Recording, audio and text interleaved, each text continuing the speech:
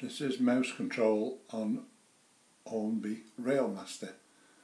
First, pick the vehicle train that you want.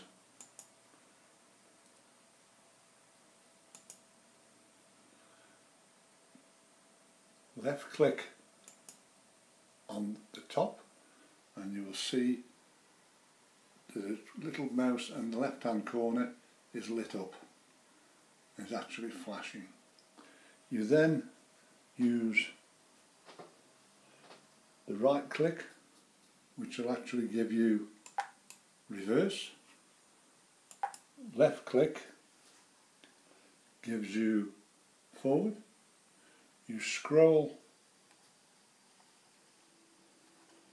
the wheel and the train moves off. And you then see the speed control it by the wheel what you want it to do is slow it down